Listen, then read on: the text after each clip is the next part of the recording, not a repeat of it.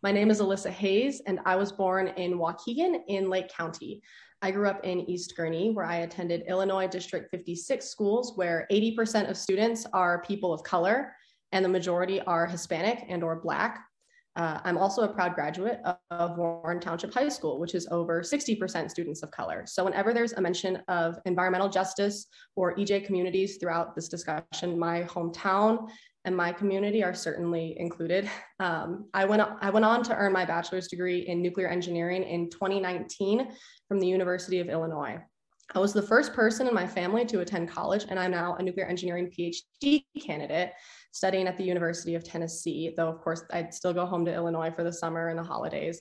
Um, but I became a scientist because I am an environmentalist. As we know, the expansion of non carbon emitting energy sources is increasingly important during the modern climate crisis. But we must expand equitably and we must reduce the disproportionate harm that fossil fuels cause to EJ communities.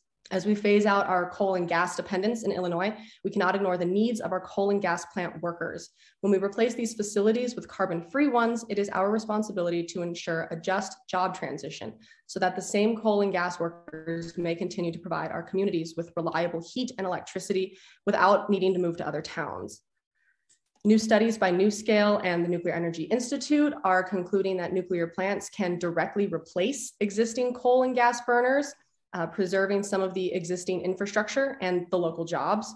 And removing the ban on new nuclear construction is the first step. Opponents of this bill have spoken a lot about nuclear waste in EJ communities, such as Zion and Lake County. My friends and I grew up like 20 minutes away from the spent fuel in Zion, and we never felt at risk. With my bachelor's and now graduate education, I can tell you that we never were. Spent fuel does not pose a risk to the public health or to the environment. Now, opponents have valid economic concerns that I can agree with, but lifting the ban on new reactors does not obstruct, the movement to address the economic impacts on EJ communities.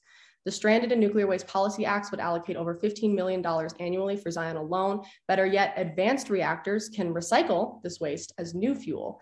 So instead of closing existing plants, we should really be building new ones. I'm excited to see a clean energy future that is inclusive to nuclear, and Illinois is already poised to lead the way, especially with the microreactor project underway at the University of Illinois already, which I'm happy to speak more on.